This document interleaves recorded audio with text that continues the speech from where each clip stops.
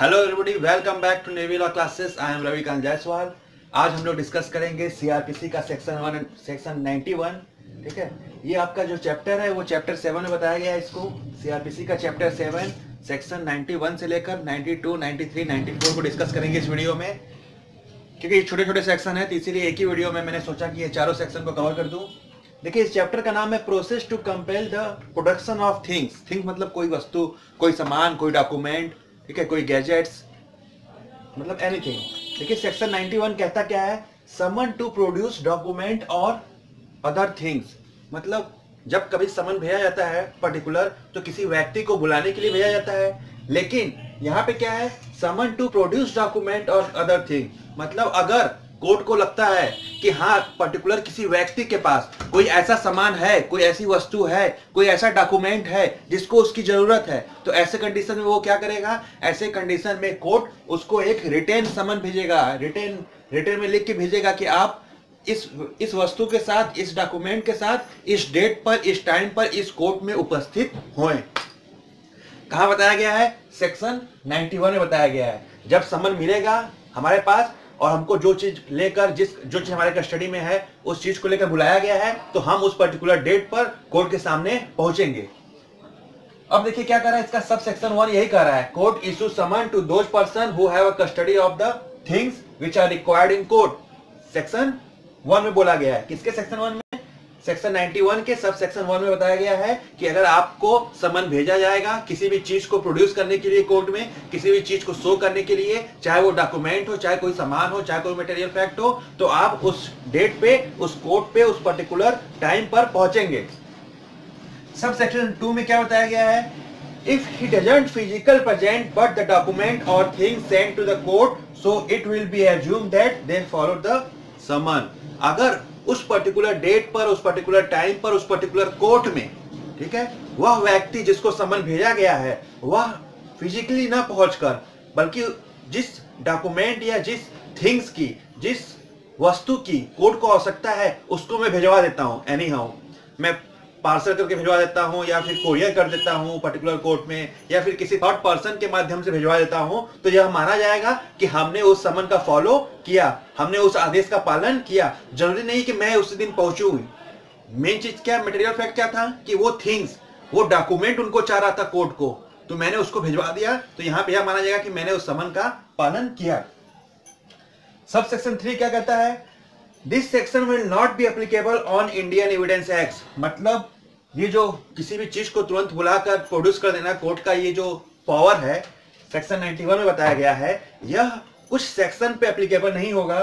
कहाँ एप्लीकेबल नहीं होगा? इंडियन एविडेंस एक्ट भारतीय साक्ष्य अधिनियम पे यह सेक्शन लागू नहीं होगा। किस किस सेक्शन पे लागू नहीं होगा? भारतीय साक्ष्य अधिनियम के सेक्शन 123, 124 और bank book evidence act 1891 and postal telegram which is in the custody of post office कोई भी पोस्टल है, कोई टेलीग्राम है, जो कि किसके कस्टडी में है? पोस्ट ऑफ़िस के कस्टडी में है। तो वहाँ पे ये सेक्शन 91 एप्लीकेबल नहीं होगा। तो ये बहुत ही छोटा सा सेक्शन है। इसमें देखिए केस है। केस है Shyam Lal A I R nineteen sixty five Supreme Court 1251 case number it will not used during the trial of accused because it is the violation of article 20 subsection 3 of the constitution's right. मतलब जो जो things को आप बुलाएँगे, उसको समन के साथ उसको बुलाएँगे, उस डॉक्यूमेंट को प्रोड्यूस करने के लिए, उसको उसके ट्रायल के लिए, ठीक है? उसको, उस ट्रायल के ड्यूरेशन में उसको हम लोग यूज़ नहीं करेंगे, ठीक है? उसको एक एज असिस्टेंट के रूप में हम लोग यूज़ कर सकते हैं, लेकिन ट्रायल के समय यूज़ नहीं करेंगे मतलब कहा गया ना कि किसी भी चीज़ को अगर खुद के द्वारा वो शो कर रहा है तो खुद उसको सजा देने के लिए उस चीज़ को हम लोग यूज़ नहीं करेंगे। यह हमारे भारतीय संविधान का आर्टिकल 23 का उल्लंघन है वायोलेशन है। अब हम लोग डिस्कस करते हैं सेक्शन 92 जो डील करता है procedure as to letter and telegram मतलब अगर कोर्ट को अगर कोर्ट को ऐसा लगता है कि जिस डॉक्यूमेंट की, जिस टेलीग्राम या फिर कोई ऐसा पार्सल है जो किसके कस्टडी में है, पोस्ट ऑफ़िस के कस्टडियल में है तो हमने कहा कहता कि ये सेक्शन कहाँ पे लागू नहीं होगा? यह सेक्शन ऐसी चीज़ों पे लागू नहीं होगा जो मटेरियल फैक्ट या टेलीग्राम, पार्सल किसी पोस्ट ऑफ़िस में वहाँ लागू नहीं होता है। लेकिन यहाँ पे क्या है? सेक्शन 92 कहता है कि अगर CJM chief judicial magistrate district magistrate या हाई कोर्ट को ऐसा लगता है कि उस डॉक्यूमेंट को, उस थिंग्स को, उस पार्सल को, जो कि इस वक्त पोस्ट ऑफ़िस में है पोस्ट ऑफ़िस में अगर है तो उसको क्या है? उसकी हमको ज़रूरत है इन्वेस्टिगेशन के लिए, जाँच के लिए। तो ऐसे कंडीशन में क्या करता है? ऐसे कंडीशन में सीजीएम और डीएम और हाई कोर्ट को और पावर होता है कि उसको आदेश दे। ठीक है? उसको आदेश दे कि पर्टिकुलर पार्सल को आप हमारे पास भिजवा दीजिए। हमको उसका इन्वेस्टिगेशन करना है। या फिर अगर ट्रायल चल रहा है तो उसमें वह उसको इंस्ट्रक्ट कर सकता है, उसको आदेश दे सकता है कि उस पार्सल को आप अलग से रख दीजिए और अपने पास रखे रहिए जब तक कि मैं नहीं माँगता, ठीक है? उस पर इन्वेस्टिगेशन की जा रही है, आप भी उस पर इन्वेस्टिगेशन कीजिए। तो ऐसा ऑर्डर देने का पावर किसके पास है? सीजेएम बीएम और हाई कोर्ट के पास है। अब सेक्शन 93 डिस्कस करते हैं। अब आते हैं सेक्शन 93 के बारे में। सेक्शन 93 कहता है when search warrant may be issue search search warrant कब इशू किया जाएगा? देखिए वारंट तो आप लोग जानते हैं, किसी भी चीज़ को, किसी भी चीज़ को बुलाने के लिए या फिर किसी चीज़ को पकड़ने के लिए हम लोग वारंट इशू करते हैं। देखिए सर्च वारंट मतलब कुछ खोजने के लिए। तो सर्च वारंट कब इशू किया जा सकता है? देखिए, इसमें सेक्शन वन में क्या लिखा हुआ है? If person voluntary not follow the order section 91 और 92 जैसे 91 में उसको बुलाया जाता है समन पे कि अब भाई हमारे पास प्रस्तुत हो, नहीं आता है। 92 में क्या किया जाता है, उसको कुछ थिंग्स के साथ, कुछ मटेरियल के साथ या कोई डॉक्यूमेंट के साथ, जो लगता है कोर्ट को कि उसको रिक्वायरमेंट है, बुलाया जाता है, नहीं आता है तो इन दैट कंडीशन क्या होता है, वह सर्च वारंट इशू कर सकते हैं। और देखिए किसमें किस कंडीशन में कर सकते हैं। If court has no cognizance that where is the document in actual अगर कोर्ट को लगता है कोर्ट के संज्ञान में नहीं है कि मीन्स एक्चुअल में वो चीज़ कहाँ है? जिस डॉक्यूमेंट की, जिस फ़ाइल की हमें ज़रूरत है तो ऐसे कंडीशन में भी कोर्ट क्या कर सकता है? कोर्ट सर्च वारंट इशू कर सकता है। It may be issue it may be issue for general for general search if court feel that the things may be find in that particular area देखिए court क्या होता है? General search warrant भी issue कर सकता है अगर court को लगता है कि उस पर्टिकुलर एरिया में ही वो चीज़ मिल सकता है। तो ये एक जनरल सर्च है। मतलब पुलिस जाके वहाँ पे सर्च कर सकती है उस प्रॉपर लोकेशन को उस पर्टिकुलर प्ले, प्लेस को ताकि वो जो थिंग्स जो डॉक्यूमेंट की रिक्वायरमेंट है कोर्ट को वो उसको मिल जाए। तो जनरल सर्च के लिए कर सकती है।